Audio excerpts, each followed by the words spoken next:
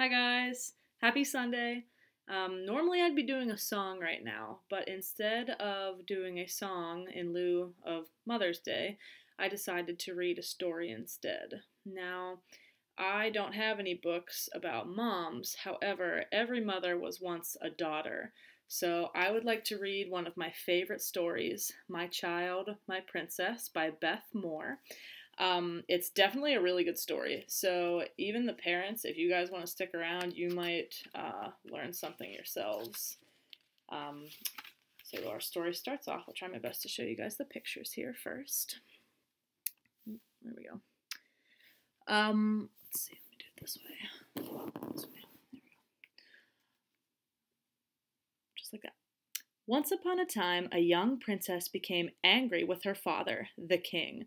The king had required her obedience to clean her room, but she had countless servants. Why should she pick up after herself? I know what I'll do, the princess said to herself. I'll teach everyone a lesson. I'll run away from home and leave my room a mess just like this. She searched through her dresser drawers for old clothing and pitching what she did not want on the floor. Finding the clothing she wanted to dress up in, she disguised herself as one of the village's peasant girls. Then she quietly slipped out of the castle's secret door. The princess knew her father, the king, would not discover her missing for several hours because he was attending important business.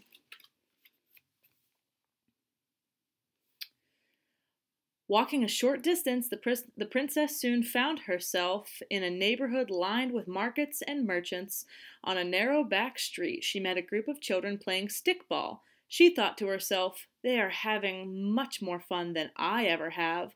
I'm tired of being a princess. I shall be like them.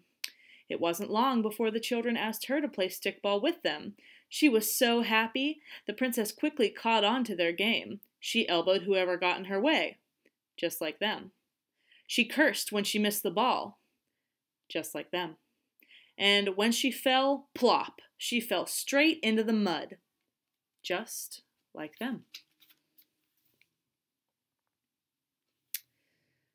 Suddenly, a young girl appeared on the corner of the street. She called to the children, Come, hurry, something really big is happening on Main Street. Sticks flew into the air, and the children ran towards Main Street. The princess was quite proud of herself, for she could run very fast, just like them. When the children reached Main Street, they reached a crowd of people who were oohing and awing over something. The children shoved and pushed their way through the crowd only to meet the stares of the finely dressed men and women standing at the front of the group. Go away, you filthy children, one of the women said. Incensed, the princess said, I'm no filthy child. I'm a prin. Her words trailed off. Looking at the children standing around her, she thought to herself, I used to be a princess. Now I'm just like them.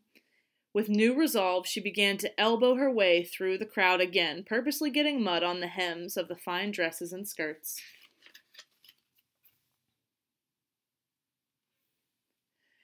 It's no use, one of the boys finally said. We can't get to the front of this crowd.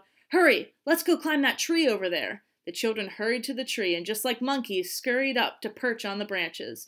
All the children managed to climb the tree, except for the princess. Trailing behind, she reassured herself, I can climb this tree, because I'm just like them. As she pulled her way to the second branch, a small limb caught the threads of her skirt and threw her off balance. Not being able to catch herself, she tumbled out of the tree and fell onto the ground with a thump. The adults turned around and peered at her with disgust. The children in the tree laughed and yelled at her, Get up here, quick! It's coming! It's coming! She didn't know what was coming, nor did she particularly care at that moment. Humiliated and bruised from the fall, she wanted to cry, but she was like them, and they certainly wouldn't cry, so she cursed instead.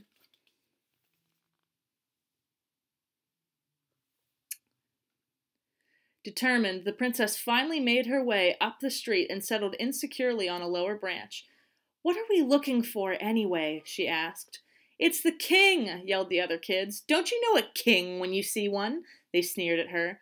She slowly pulled herself up to the next branch and stretched to see the king. An envoy of dignitaries stood beside a lavish coach, and when the door opened, out stepped the king.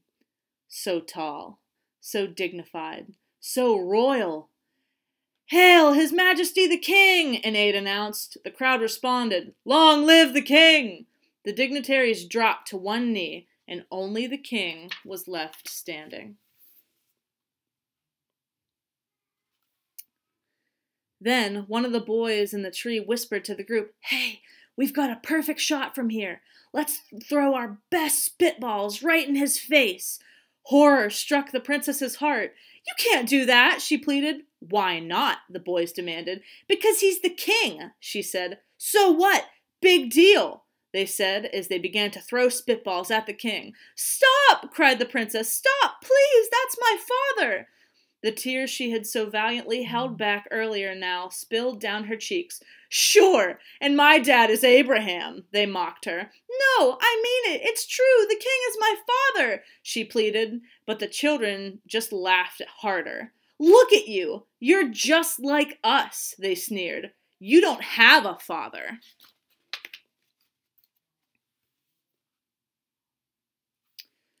The princess looked at her father just in time to see him wipe something from his face. He looked up into the tree as the children yelled and cursed at him. Indescribable shame filled her heart. She was sure her father had seen her, but maybe, just maybe, he hadn't recognized her. The princess jumped out of the tree and began to run. As she did, the children started to throw their spitballs at her. The princess began to run back towards the palace. She ran and ran, sobbing every step of the way, stopping to catch her breath. The princess suddenly became aware of her stinging elbows and knees. She was skinned and bleeding from the fall, and she began to cry even harder. Her heart sank, and she felt alone and very frightened.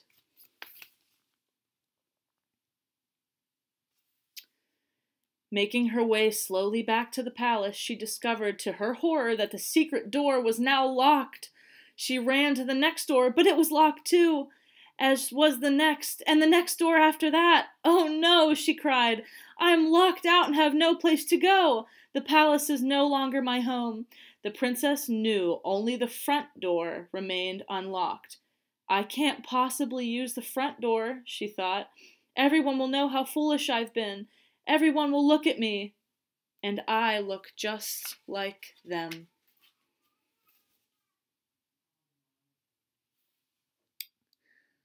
So she waited and waited, trying desperately to think of some way to get out of this terrible mess.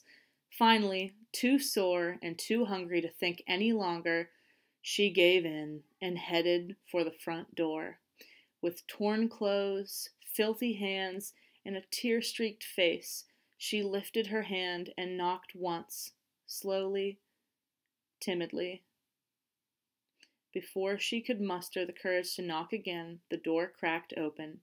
Hanging her head in shame, she could see only his feet, but she knew instantly that they were his feet. It was him, her dad, her father, the king. She fell at his feet and cried, I'm sorry, Daddy. I'm so ashamed of what I've done.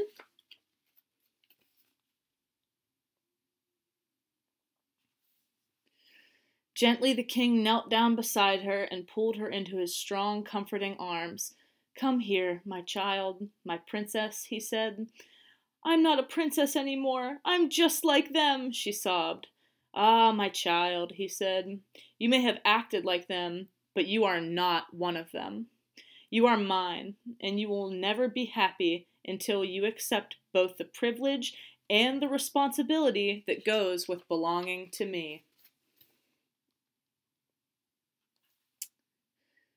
That night, after she had he had dressed her wounds, he tucked her into her soft bed and kissed her good night. He even helped her clean the mess she had left in her room. As she settled into the soft quilt, she thought about how much she liked being a princess, the daughter of a king. As the king walked out of the room, the dim night light softly illuminated his royal robe, which was now smudged with dirt. Tears filled the princess's eyes. Look what I've done to the king's robe. Never again, she whispered, apologizing to the king.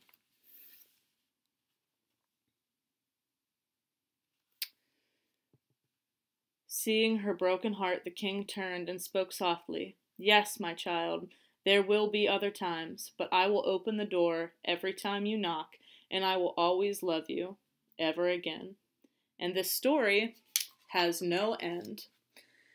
Come, you who are blessed by my Father, take your inheritance, the kingdom prepared for you since creation of the world. Matthew 25, 34. I have to admit, I think that's the first time I've ever read this book without crying. Um, but I absolutely love this story, and I hope that you guys enjoyed it and that you remember that no matter what you do, uh, God will always never love you any more or any less, and He will always be there anytime you knock. Happy Mother's Day.